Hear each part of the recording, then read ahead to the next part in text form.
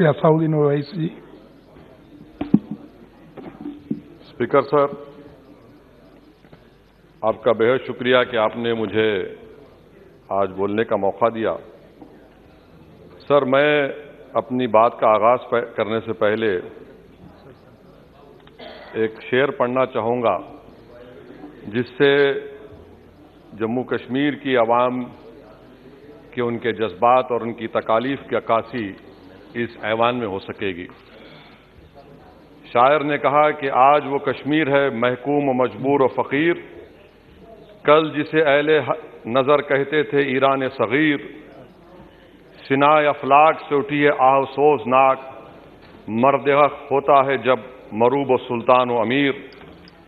कह रहा है दास्तान बयादारी आयाम की कोह के दामन में वो गम।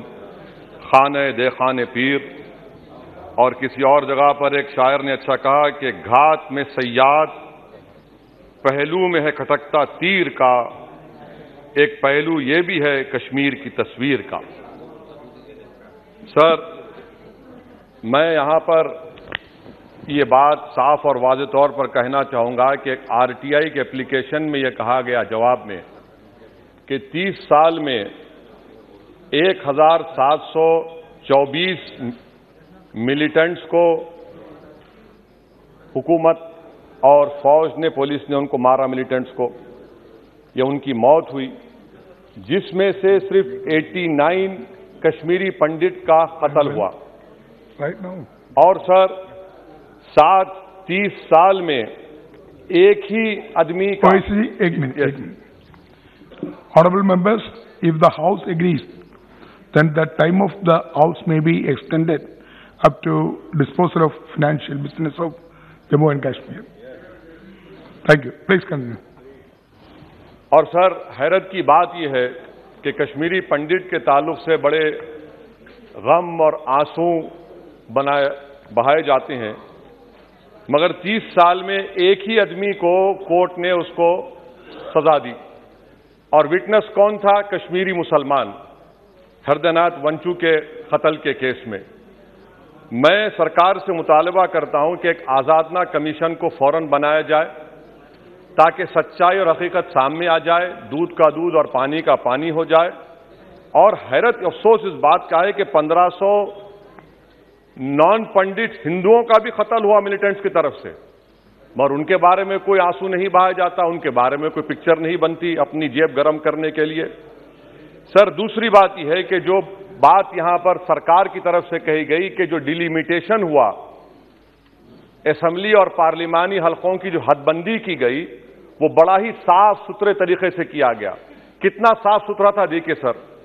अनंतनाग को उन्होंने मिला दिया पूंछ और राजौरी से। इतना साफ़ सुथरा था कि साउथ कश्मीर एक ऐसा इलाका है जो कंप्लीट एथनिकली कश्मीरी है।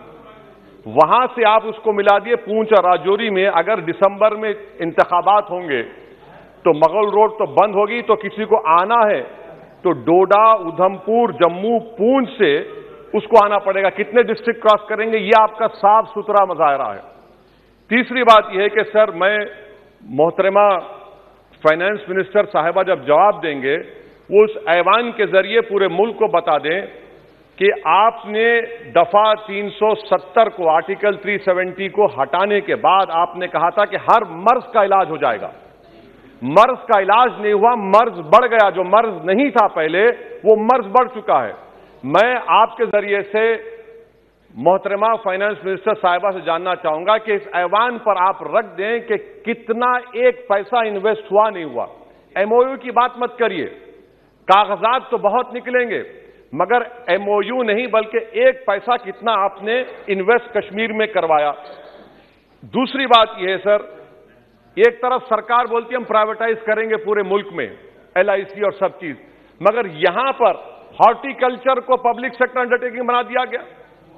जो कश्मीरी अपना सेब बेचता था, आप उसको कह रहे हैं, नहीं, अब हम पीएसयू बना दिए यह आपका साफ़ सुथरा और आपकी राह दिखाता है। पावर आपका बरखी का आपने उसको सेंट्रल पीएसयू से जोड़ दिया।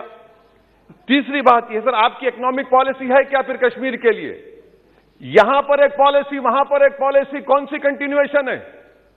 आप तो यहाँ पर एक अपना रहे हैं, वहाँ पर अलग लोग अपना रहे हैं। इसमें कोई इंटीग्रेशन नहीं है। Sir pharma traders pharma traders पर धावे हो गए रेट पड़ गया। जो सप्लायर्स है, उन पर रेट पड़ गया। टोल पोस्ट खत्म कर दिया आपने। 114 राइस मिल बंद करने के दहाने पर आ गए। इसका जवाब नहीं है सही है गलत है? अच्छा सर फिर आप देखिए कि एक और बात मैं आपके आपके गोशे गुजार करना चाह रहा हूँ कि इकोनॉमिक डिपेंडेंस आप इतना कर दे रहे कश्मीरियों के ऊपर। यानी आप कल ये बताएँगे मैं खत्म कर रहा हूँ सर मैं ब, ब, कल आप ये बताएँगे कि नहीं नहीं हमने तो इतना पैसा दिया था। सर कि आप ये इकोनॉमिक पॉलिसी क्या है आपकी? और अनएम्प्लॉयमेंट कितना है सर कश्मीर में आज? अनएम्प्लॉयमेंट सर आज कश्मीर में 7.2 परसेंट है। ऑल इंडिया पूरे भारत में ज़्यादा अनएम्प्लॉयमेंट है। तो तीन सौ सत्तर निकाल के आपने क्या किया सर? अनएम्प्लॉयमेंट वहाँ और बढ़ गया। अच्छा सर ये और एक बात आपसे कर जे की आईडीसी सर ये जे की आईडीसी ऐसा आपने एक एक एक, एक शैतान को बना दिया आपने वहाँ पर। एक शैतान को क्रिएट कर दिया आपने जे के आईडीसी को। और ज़मीन किसी की भी ली जा सकती है पुलिस साथ रहेगी। और उसके फैसले को कोर्ट में चैलेंज नहीं किया जाएगा। ये जमहूरियत है ना? जमहूरियत में गलत फैसलों को कोर्ट में चैलेंज करेंगे। माने ज़मीन किसकी भी ले लेंगे पुलिस का ऑफिसर साथ देंगे। तो इसीलिए सर हम ये कहना चाह रहे हैं कि हर एतबार से आपने वहाँ पर कोई गलत पॉलिसी की और अखलाकी तौर पर, आईनी तौर पर कन्वेंशन जो है, ये बजट को यहाँ नहीं डिबेट करना चाहिए। इस बजट को तो वहाँ के मुंतखब शुदा अवामी नुमाइंदों को बहस करनी चाहिए। यहाँ पार्लियामेंट में बैठकर हम एक एक जम्मू का, कश्मीर का कैसे बजट पास करेंगे तो गैर अखलाकी बात है। कन्वेंशन के खिलाफ है। और इसको बताता है कि आपका मंशा और मकसद क्या है? कि आप यहाँ पर कठपुतली की तरह कंट्रोल करना चाह रहे हैं। और क्या कश्मीर में मिलिटेंट एक्टिविटी नहीं, मर, लोग नहीं मर रहे वहाँ पर? सिविलियन कैजुअलिटीज नहीं हो रही, बराबर हो रही है वहाँ पर। तो इसीलिए सर हम आपसे अपील कर रहे कि आप इन हालात को खत्म कर रहा हूँ, सर। इन हालात को देखिए।